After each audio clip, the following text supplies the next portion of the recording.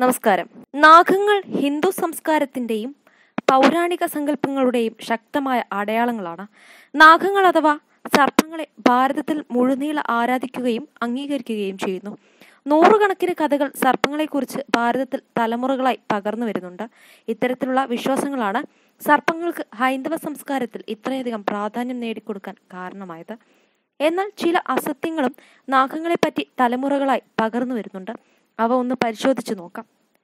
പാമ്പാട്ടികളും ചില മന്ത്രവാദികളുമാണ് സർപ്പങ്ങളെ പറ്റിയുള്ള ഇത്തരത്തിലുള്ള അസത്യങ്ങൾ കൂടുതലായും പ്രചരിപ്പിക്കുന്നതെന്നാണ് വന്യജീവി സംരക്ഷകരുടെ ഭാഷ്യം. ചേരപാമ്പുകൾക്ക് വിഷമുണ്ടെന്നാണ് ചിലർ പറഞ്ഞു വരുത്തുന്നത് എന്നാൽ ചേരപ്പാമ്പുകൾക്ക് വിഷമില്ല എന്നതാണ് സത്യം. ചേരപ്പാമ്പുകൾ സാധാരണയായി എലികളെയും മറ്റ് ചെറിയ ജീവികളെയും ഭക്ഷിച്ചാണ് കഴിയുന്നത്. ചേരപ്പാമ്പുകൾ മൂർഖൻ പാമ്പുകളുമായി ഇണചേരുമെന്നാണ് മറ്റൊരു കെട്ടുകഥ. ചേരയോ മറ്റ് തരത്തിലുള്ള പാമ്പുകളോ സ്വന്തം വംശത്തിലുള്ളവരായിട്ടേ ഇണചേരൂ എന്നതാണ് സത്യം. ഈ സത്യം നമ്മുടെ ഇടയിൽ പലർക്കും അറിയില്ല. പാമ്പുകൾക്ക് താടി വളരുമെന്നാണ് ചില പാമ്പാട്ടികൾ പറഞ്ഞു വരുത്തുന്നത് എന്തൊരു അസംബന്ധമാണിത്. പാമ്പുകൾ ഉരകവർഗത്തിൽപ്പെട്ടവയാണ്. ഇവയ്ക്ക് രോമവളർച്ച ഒരിക്കലും ഉണ്ടാകില്ല. പക്ഷെ ചില പാമ്പാട്ടികൾ പാമ്പുകൾക്ക് പ്രായമാകുമ്പോൾ രോമം വളരുമെന്ന് പറഞ്ഞു വരുത്തുന്നു സർപ്പങ്ങളുടെ തലയിൽ മാണിക്യമുണ്ടെന്നുള്ളതാണ് മറ്റൊരു വലിയ കെട്ടുകഥ. എങ്കിൽ പാമ്പിനെ പിടികൂടി മാണിക്യമെടുത്താൽ പോരെ? ഇത് വിശ്വസിക്കുന്നവരും നമ്മുടെ നാട്ടിൽ ഒരുപാടാണ്. ഒരിക്കലും ഒരു പാമ്പും തലയിൽ മാണിക്യമോ പവിഴമോ ആയിട്ട് സഞ്ചരിക്കാറില്ല.